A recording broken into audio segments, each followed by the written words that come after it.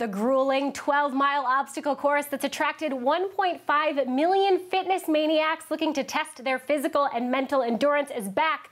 This year, the creators behind the Tough Mudder are upping the ante. Here to tell us more about what's in store for Tough Mudder Nation in 2015, CEO and co founder Will Dean. Will, thanks for being here. Oh, thank you for having me. I want to talk first about the business side of this. So, sure. 1.5 million people have done it. You guys mm -hmm. have raised more than 10 million for charity. We have. More than 75 million in annual revenues. Mm -hmm. What do you want to grow this into this year? So I think an important thing to understand what Tough Mudder is, uh, you've got to first talk about what it's not. And what it's not is a race. What it is is a challenge. It's about a group of people getting together, doing something that's bigger than themselves. This year we have a completely new set of obstacles. And I think at Tough Mudder, you know, profits and revenues are a secondary consideration to us to what we're really trying to do, which is build this global movement of people that like to challenge themselves, get outside and do things as part of a team and have good fun. But that said, you guys still have some new sponsors coming on this year, presumably some more revenue coming on as well. Well, well that part's nice, but also helping us produce a better event. So we're very excited to be talking about the fact we're partnering with Anheuser-Busch and their Shock Top brand in 2015. We're bringing Chipotle to our events as well. They're going to be adding some great features. You're going to see new obstacles. We actually have a completely new set of obstacles for yeah, 2015. Let's talk about some of those new obstacles. So I have to say the ones that caught my eye were the Crybaby mm -hmm. obstacle and the Ring of Fire. But, yep. you know, tell me a little bit about those. Sure. So we have 20 obstacles in total, so we can talk about those two first. So Crybaby uh, takes a simulated tear gas and takes people through a chamber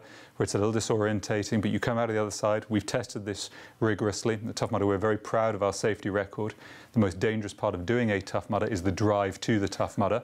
So the event itself is very, very safe, um, but you crawl through this chamber. It's a little disorientating. It definitely is intimidating, but it's not uh, dangerous, but it challenges your mental grit, and that's what that obstacle is all How about. How do you do a ring of fire safely?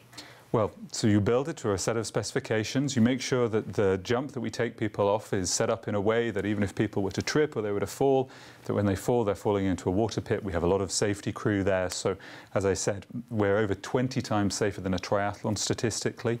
The most dangerous part is uh, running, uh, driving to the event, not the running the event itself. And it's a team event. It's actually pretty good fun.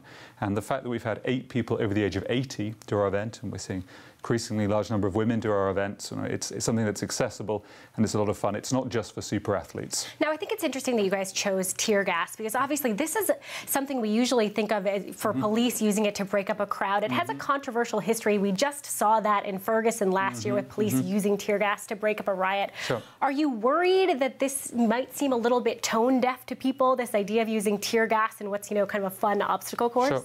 I think the important thing to understand is what we're trying to do is create something that's challenging and intimidating. And a big, big part of what Tough Mudder is about is challenging people mentally as well as physically. And the whole point of Tough Mudder is actually it's supposed to be fun. And you may say, well, what's fun about getting tear gas? Well, it's the build up to it, it's that sense of anticipation. And when you've got through it, you've all done something that's the same together. And one of the things I'm very proud of is when I run my, wear my Tough Mudder t-shirt and I go running outside, I see someone who's also done a Tough Mudder, they'll always give me a high five be it in London, be it in Berlin, be it here in New York City, because you're bigger, you're part of something that's bigger than yourself. But you're not worried about the sort of controversial history that might come along with no. using tear gas or something I, no, like I think the people who do a Tough Mudder are pretty sensible and they understand that, you know, just like our Arctic Enema, which is our ice obstacle, or electroshock therapy, you know, we're building something that's safe and you know, I think we've thought about this and you know, I think this is going to be a fun, exciting new addition to the event. All right, now you said more women are trying these mm -hmm. out. I'm thinking of doing one this year, but should. still it says it's about 70% men who do it, about 30% women.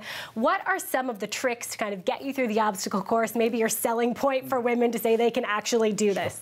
So the first thing to understand is 95% of people do our event as part of a team. And when you get to an event, everyone will help you through it. Only 5-10% of people are elite athletes. Most of the people who do it, and you'll be in good company, over 2 million people who have done our event by the end of this year, um, you're going to see people that are frankly pretty normal shaped people and there's going to be this huge tremendous support to get you through.